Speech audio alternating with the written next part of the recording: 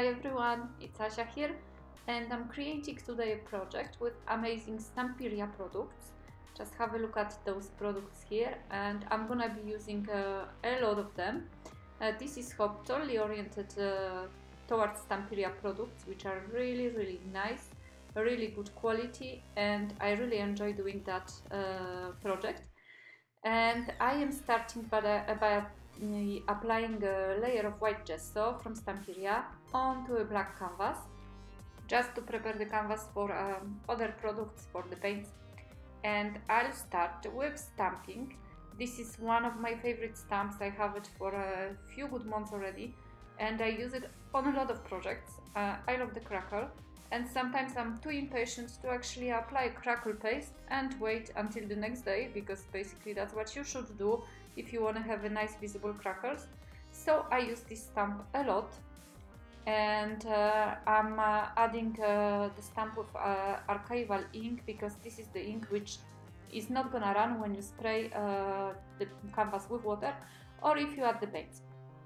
And this one is the newest stamp I got from Stamperia with flowers, uh, with wild flowers actually, and there are poppies also on it and uh, some uh, Latin uh, script. And I'm stamping more or less randomly onto the canvas. Although there is some lodging into that uh, randomness. And um, I'm trying to leave the middle of the canvas uh, more or less untouched. And uh, I want the crackle on the sides. And I am adding some poppies also on the sides and I decided also to add them in the middle of the canvas so they can be visible from under the rice paper because for this project I'm gonna be working with rice paper. I'm totally in love with Stamperia rice paper. Uh, they have such a beautiful designs and the quality is really good and I've been working with Stamperia rice papers for a long time already and I add them quite often to my uh, backgrounds, to my art journal backgrounds for this one, though the um, rice paper is gonna take a part of the focal point, uh, I'm gonna use poppies. And uh, well, I'm cutting them out with the scissors. But uh, if you want a more uh, distressed look, you can actually, um, with a brush, wet brush, um, kind of wet the edges where you want the paper to uh, be torn and then uh, tear it apart and I'm gonna be using transfer gel to uh, glue the paper um, onto the canvas. For the, uh, this transfer gel you can also use for uh, transfer papers uh, because Stamperia also has very nice uh, transfer papers. But uh, and for this purpose here right now you can also use just matte gel. Um, but um, but since I have a transfer gel from Stamperia and it works really good, I decided to use this one and uh, so I'm adding it uh, under the paper and I'm also adding an additional coat on top of the paper like that. I'm sure uh, I will not destroy it when I add um, other mediums or uh, other paints. And like that uh, the paper is uh, well protected. In the meantime I don't know if you've noticed my brush gave up and broke into two pieces I still uh, didn't want to throw it, so I used the, the tiny piece, um, the tiny part of the brush. And I decided uh, I have some uh, uh stamping missing at the edges of the canvas, so I added some more stamping and I also decided to add another poppy. I am a big fan of poppies. Um, I like uh, in general uh, white flowers, but poppies, I don't know, they always steal my heart and uh, I really when I've seen this paper I said to myself there is no other way I'm gonna use it this one particular one for this project. And now I'm uh, adding some acrylic paints uh, blue and white. And later I'll be adding also uh, some uh, green uh, they are all from Stamperia also.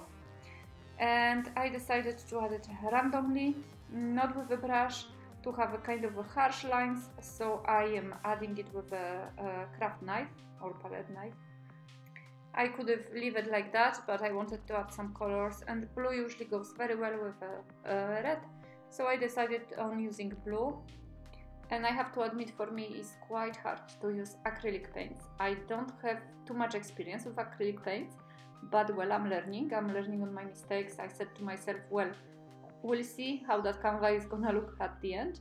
And so at the end, I'm actually very happy with the outcome, uh, but I was not sure. Uh, I was not sure how it is gonna uh, work, but uh, well, you're not sure, you still can keep on going and see at the end.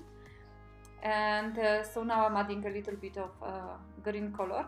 I also add these colors to um, cover the lines where the paper was glued, the, the harsh lines, and uh, I'm gonna be using also other mediums in a while to uh, kind of um, incorporate these lines or maybe smoothen them into a canvas so they are not visible.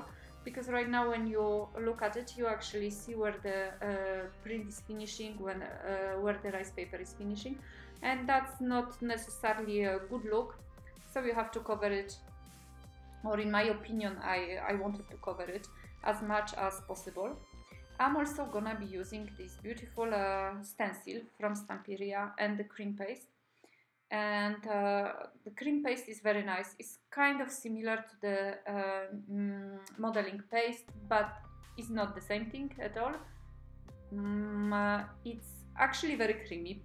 If you open a box of cream for the face, for example, the this cream paste is more or less the same in texture or very similar to, to a cream it's spreading very nicely and it's drying quite quickly also. So I was really happy with the outcome. On top of that, the stencil with the kind of a mosaic of flowers are really, really nice. And you can see me here, I'm trying uh, as much as I can to cover these uh, lines uh, visible from the rice paper. And as you can see, they are not completely covered, so I'll work on that. Uh, but firstly, I'm gonna uh, try it with my heat gun and now I'm using a white acrylic paint uh, from Stamperia to um, blend the flowers a little bit more with the background.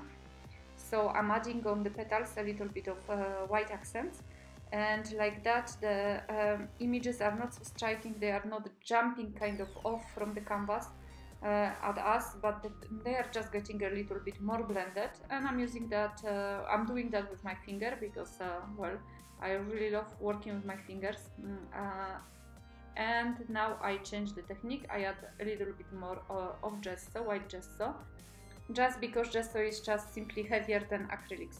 And guys, this is my all-time favorite. It's uh, called pasta scultura. I have no idea how to pronounce things in Italian, but this uh, paste, it's really nice. It has these fibers which are just to die for, in, to, to me anyway.